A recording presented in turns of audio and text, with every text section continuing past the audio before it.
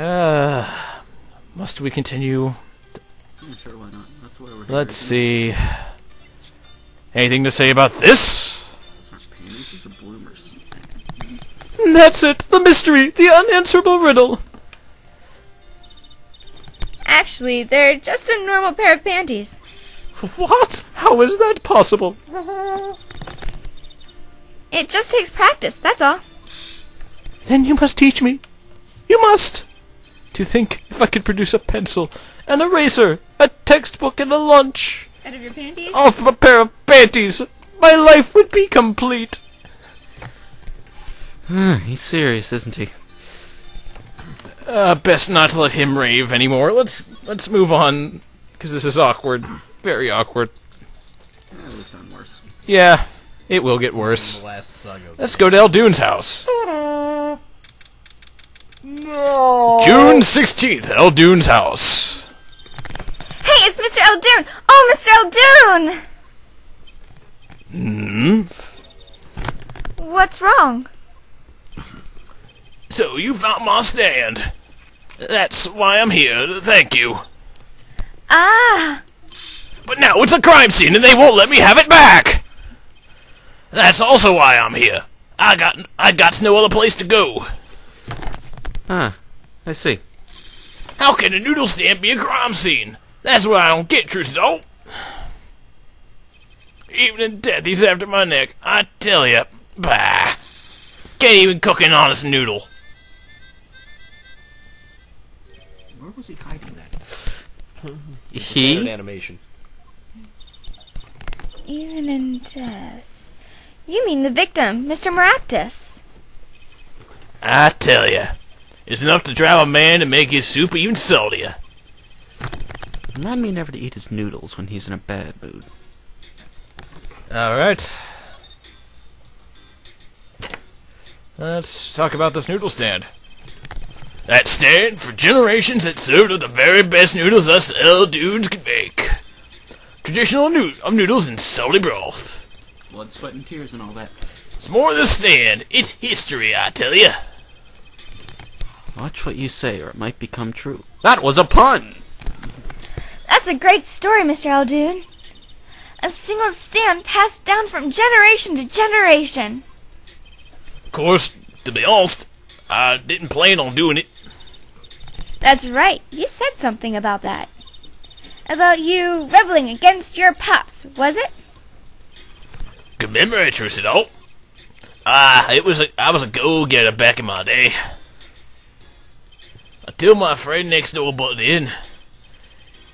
In the end, I was left with nothing but this dusty old stand to earn my fortune. Mr. Eldoon, I don't mean to pry, but I'm gonna do that. But what exactly did you do before you became a chef? Bah! Let old noodles lie, that's what I say. I'm starting to get an idea of what he did anyway. He stole my dreams and left me with nothing but noodles. And now I don't even have that!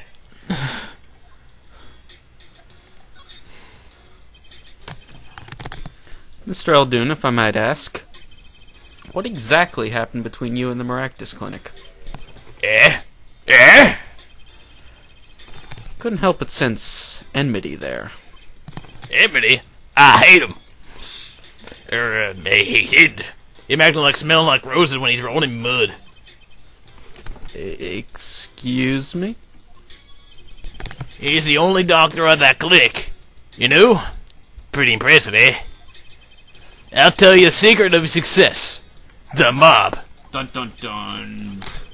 You mean the Kitaki family? They're always having one of them tier fours or whatnot. Always an injury to what needs fixing. Ragnar saw a chance for some business. So we started giving the Kitaki family a good deal. A deal. Free noodles. Every fifth operation for free. Got a scratch card and everything. He stole the idea from my pops. One free bowl of noodles a week, he used to I say. said free noodles. Can a doctor just decide to do that? What about the insurance companies? Oh, no doubt it's illegal. But I got him in good with the family. Pretty soon he was getting all the business in town. Leave, Insurance companies don't care if you're operating on the mob. They're insurance companies. leaving me here in the dark. Up to my neck in soup and noodles. I think I figured out Mr. Eldoon's former occupation. Can't hurt to ask, Apollo. Are you a doctor? Mr. Eldoon, or should I say, Dr. Eldoon. Figure it out, did you? I wasn't actually a doctor. I played one on TV. That's right, I was a doctor.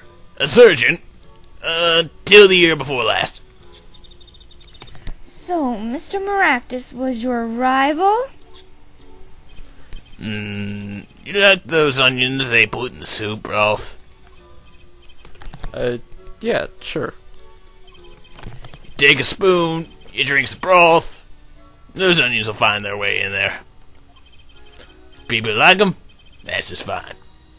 People hate 'em, I hate onions! Hate 'em! Always sneaking in from the side, getting in the way of a good tasting spoonful. Well, that's what he was. An onion. Onion boy. That's what I call him. So, uh, you weren't friends. Ah, me and Pal Meraktis.